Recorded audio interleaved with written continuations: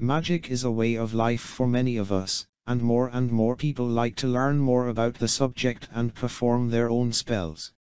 Learning magic is a lifelong quest, but everybody can do it. It can help you become a better human being and if you live by its main principles you can make an impact on the universe and make it a better place to live. Message from the High Priest Message from the High Priest I am the lost bearded white brother and was born a long time ago in a cold faraway land. Though I was born in a Catholic family and was baptized such, at home we never really had a spiritual life.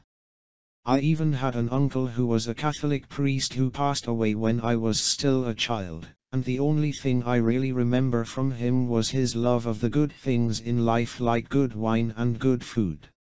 It must have impressed me a lot, because that too has been a lifelong quest, but I digress. I started reading early, even before starting school. A few years later I was reading at least six books a week, and since that tender age I have been a voracious reader. Since I was very young I have always been interested in all things occult. The lack of any spiritual life at home, and my parents' lack of response to my many questions launched me into a lifelong quest to learn about the mysteries of life. My mother had some interests in the subject and I borrowed some of her numerous books on the subject, as I inherited my thirst for reading from her, and I started to search all of the resources that were available to me at the time. I read about the various organized religions, and became disenchanted with all of them. More and more I became interested in the core philosophies of most religions and how they can be applied to the way we act and live and to magic that can be used to better mankind. Though I still consider myself a Catholic by indoctrination, for year I have been practicing my own form of religion or better worded, my own beliefs based on all of those philosophies and religions I studied and on magic. It involves at its core a great respect for others and for nature, and the prime goal to live my life to its fullest and to better myself and mankind daily. Another interest passed on to me by my mother was that of archaeology. She always says that if she could redo her life, she would study this subject.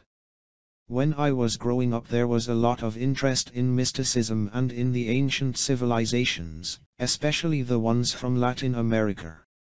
I remember reading about the great archaeological sites of those faraway warm climes, and dreaming about visiting there a day.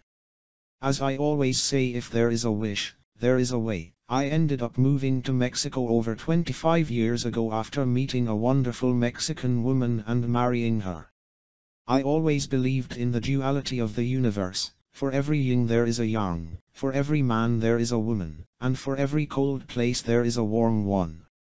I brought to this warm country my kind of magic that is rooted in the cold climes of Northern Europe and have been avidly studying the local brand of magic that has its roots in indigenous spiritualism, in Spanish magic, and various other imported influences, especially the heavy one of the Catholic Church. I have taken from all of those influences the aspects that work with my beliefs and have been using this potent blend of magic to better myself and those next to me.